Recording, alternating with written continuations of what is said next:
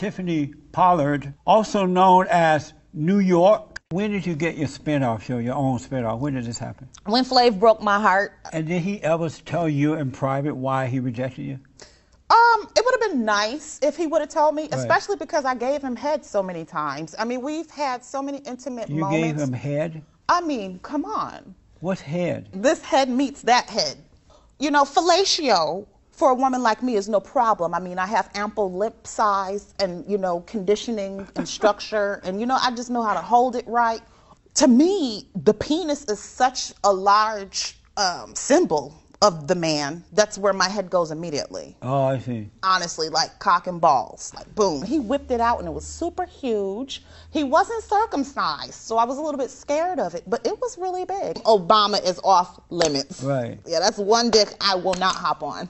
I don't know. I don't want to make this whole interview about dick. The majority of men I've been with, I've always cheated. Did they know you were cheating around? Oh no, I'm a very good liar.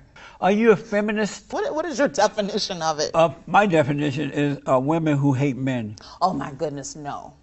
Because I you listen, at the end of the day, a vibrator can't get me to where I gotta go. I love men. On the weekend, the guy can pull out my weave and he can just do all these things to me. You know, he can hit me a little bit, Oh, yeah. chuck me a little bit, and you know, I'll heal by Monday morning again. I've had so much great sex in my younger day. Right. Like